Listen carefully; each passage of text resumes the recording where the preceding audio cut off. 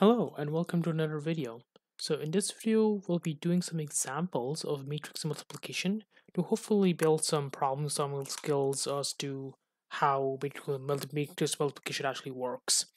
In the earlier video, we talked about some theory behind matrix multiplication and geometrically what it means and how it works. In this video, we'll be doing a few examples of how the matrix multiplication actually works. And then hopefully with enough examples, we can kind of ease our way into multiplication and kind of understand how to do them comfortably. Okay, so the first thing we have to know in order to define the idea of matrix multiplication, which we briefly did in the last video, the number of rows in the first matrix has to be the same as the number of rows in the second matrix. Let me correct that. The number of columns in the first matrix has to be the same as the number of rows in the second matrix. So in other words, if I give you A times B well, what I'm saying is the number of columns in A has to equal the number of rows in B. If this is not true, then you can't do matrix multiplication. So as an example, you can multiply 1, 2, 3, 4, and two, three, four, five, for example. And the reason is because you the number of columns here is two, and the number of rows here is also two. So two equals two, so we're good to go. However, if you have something like this, for example, so one, two, three, four, and then one, five, well, in this case, the number of columns is 2, but the number of rows is just 1. So you can't do anything in this case. Okay, what about the next one? Let's do one more example. So we have 1, 2, 3, 0, negative 1, 2. And we're multiplying this by 2, 1, 5, 0, 2, minus 1, 3, 0, 2. Okay, well in this case we have how many columns? One, two, three, so three columns.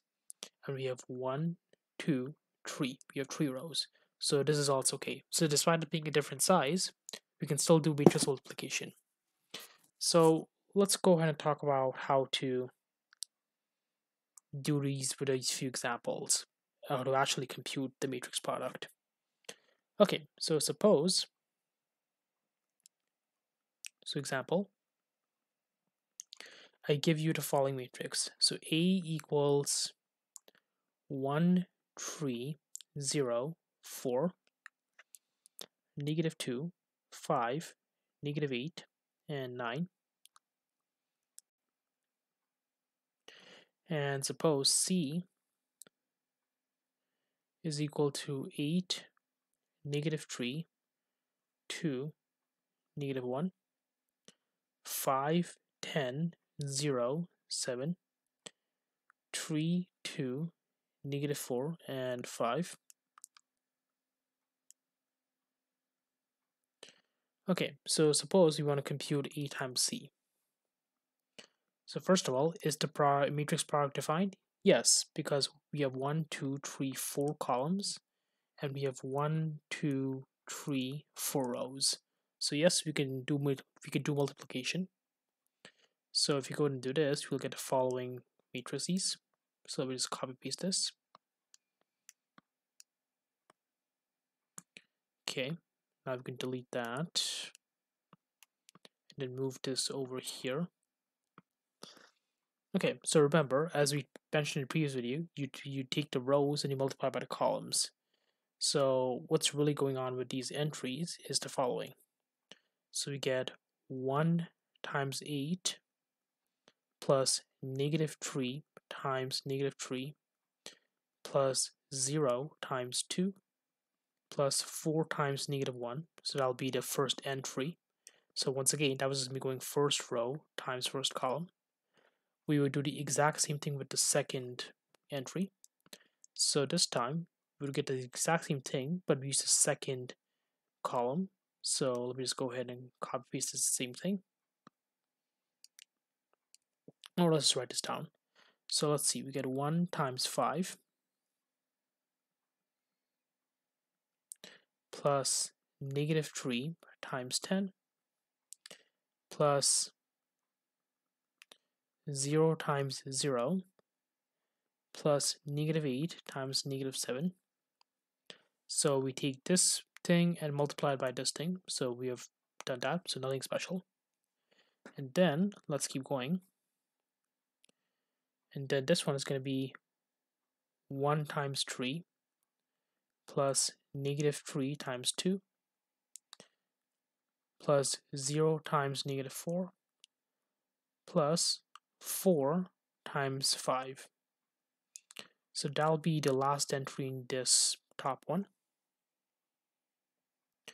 And the second one, well, it's going to be similar. So it's going to be minus 2 times 8 plus 5 times negative 3 plus negative 8 times 2 plus 9 times negative 1. So that's this second one multiplied by this first column. And this is going to be negative 2 times 5 plus 5 times 0, or not 0, times 10 plus negative 8 times 0 plus 9 times negative 7. And the next one is going to be minus 2 times 3 plus 5 times 2 plus negative 8 times negative 4 plus 9 times 5.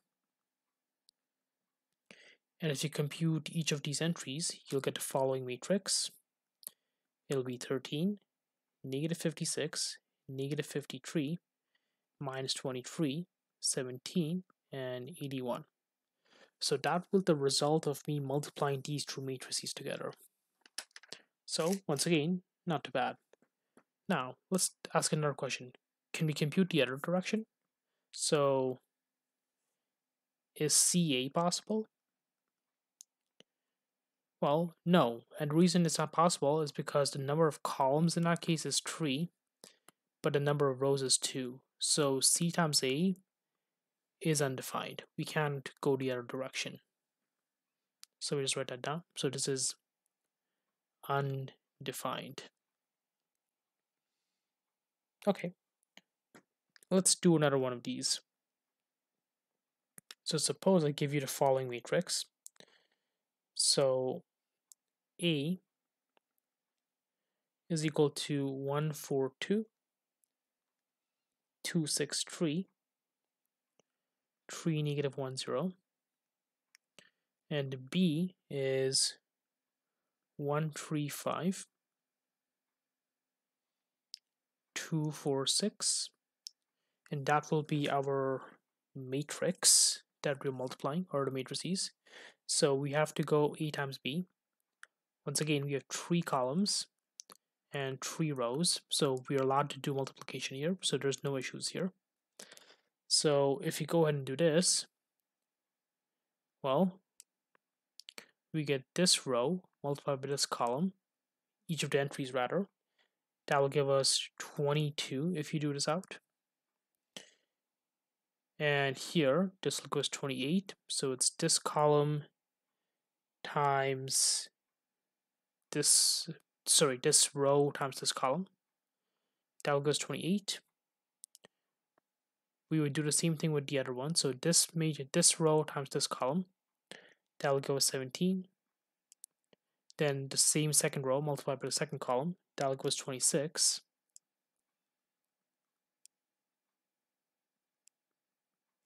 Okay, and let's keep going. So the third row multiplied by the first column, that's 11. Third row multiplied by second column, that's 16. So, so far, that is going to be our matrix product. Okay, now here's another fun example. The order in which you multiply matrices matters. So it's supposed to give you the following matrices. So 3 negative 1 and 7, 10, 1, negative 8, and negative 5, 2, 4. Okay, so D is negative 1, 6, 7, 4, 2, 4, and 9, negative 1, and 7. Okay, the order in which you multiply matrices matters because remember from the previous video, a, a, uh, a matrix multiplication is just an application of transformations across space. So the order in which you do transformations is going to completely change the final output of an arbitrary vector. So let's compute how this works. So if you go b times d, well, that's going to equal to, to 40, negative 60, 45, 38, 10, 0, 77, 33, minus 19. So let's see what happens at D and B. So same thing. We would take the rows and multiply by the columns. So we take this, multiply by that, take this, multiply by that, take this, and multiply by that. So again, nothing too out of place. So if you go ahead and do this, well, we'll get negative 8 here, uh, 43, 26, 23, minus 6, 11, minus 3, 22, and 45. Okay, so both of those, as you can see, give very different results, even if you add them in different orders, because normally in numbers, 3 times 4 is the same thing as 4 times 3. However, in matrices, that's not usually true. So we gotta be a little bit careful about how we these uh, about how we multiply the water the matrices. Okay. So in general, we take the rows and multiply by the columns to get the matrices. Okay, let's write out some properties.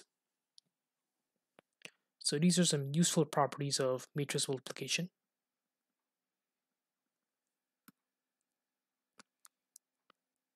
Okay, so the first one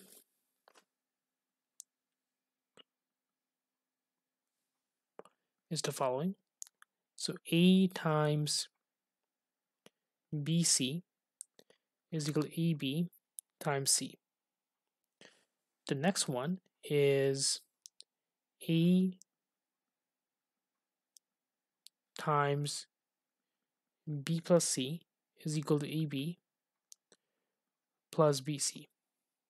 Okay, next one. So B plus C times A is equal to BA plus CA. Remember, you can you can inter interchange the order. So next one, if you have A times B minus C, so this one is a bit different.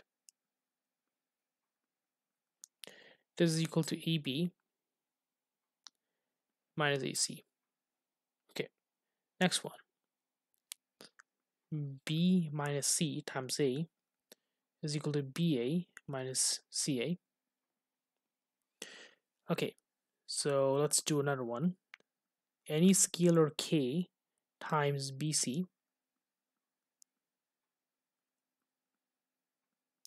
is equal to B times the same scalar k times c. Okay. And those are our properties.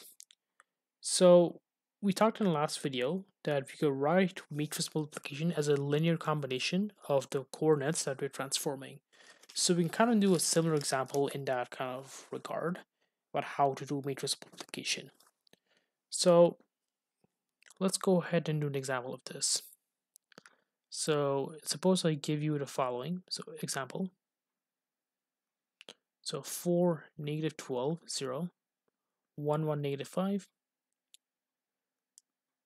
2, 3, and minus 10, minus 1, 2, and 9. And here x is equal to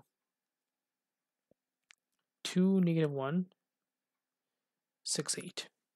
Okay, so we have to go ahead and multiply these. So let me, let me make this very clear. The first matrix is equal to A. Okay, so A times X, well, we can rewrite this as the first matrix times the second matrix